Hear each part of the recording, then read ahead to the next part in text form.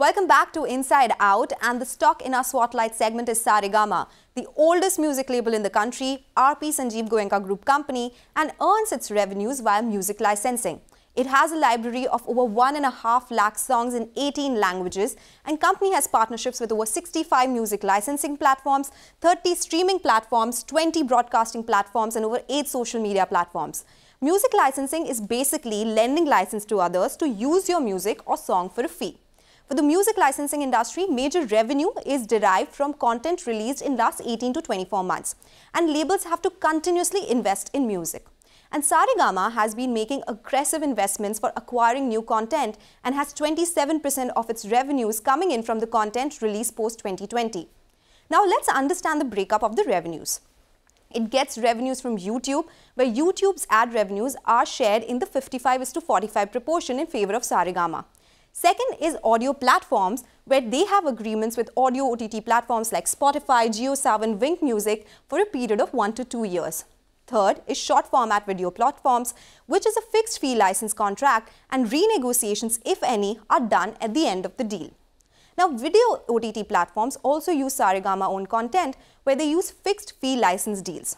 And for brands, there is customized revenue source. And for public events, music played at events generates revenues for the label. One part of the revenue is also sales from hardware product Carvaa. You all would have heard about it. It is a product with preloaded songs and they have a mobile version in this as well.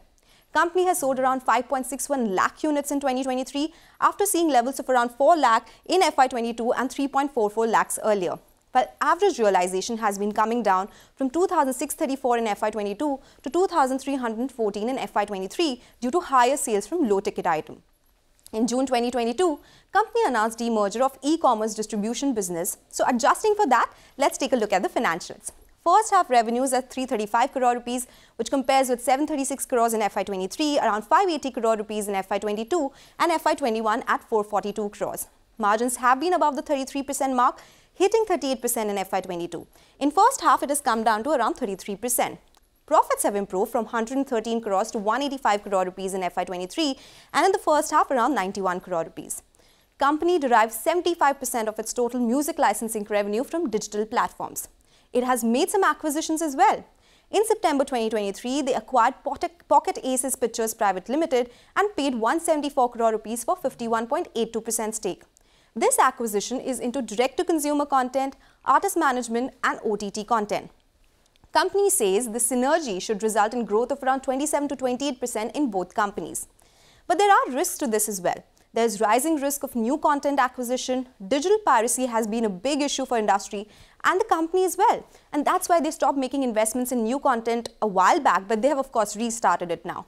There could be higher than expected investments in non-music segments as well. The valuations is at 27 times FY26 EPS, slightly higher than global peers. Promoters, they hold around 59% stake, mutual funds at 0.65%, there's AIFs holding 1.72% stake and FPIs hold around 16.29% stake. So that's all about Saregama. But with that, we have run out of time on this episode of Inside Out. It's a goodbye from Nigel and I. But do write to us and tell us the companies you want us to discuss and you want to hear about. We'll feature these on our show. Thanks a lot for tuning in today.